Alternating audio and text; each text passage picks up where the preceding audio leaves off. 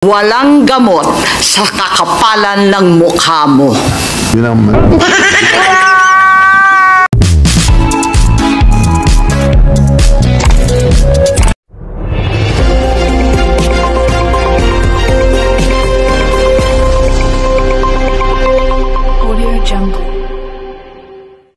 Nais ko lang sabihin na kung minsan may mga sakit na kapag ginamot at biglang nawala ang sintomas, akala natin wala na.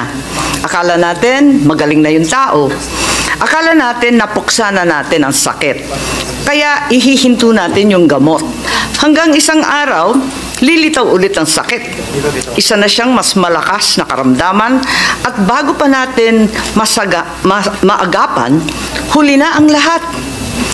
Ang sabi ng COMELEC, hihinto na sila sa pagtanggap ng pirma hanggat hindi na ay aayos ang ilang teknikalidad.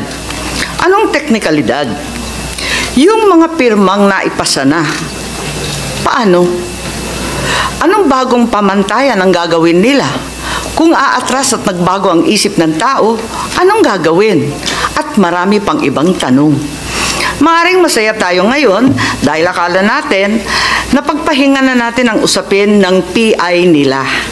Pero hanggat hindi natin ito naihihimlay, babangon po muli ito upang maging multo. Nakakatakot. At ang sino man magsabi na walang paki ang Senado sa usaping ito, isa lang ang masasabi ko. Walang gamot sa kakapalan ng mukha mo. Yun ang...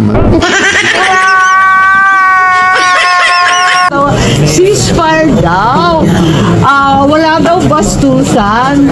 Eh, siya naman ang nagsabi, walang pake ang Senado. Ayan. Siya nagumpisa. Nung inugali ko, yung ugali niya, umiiyak siya.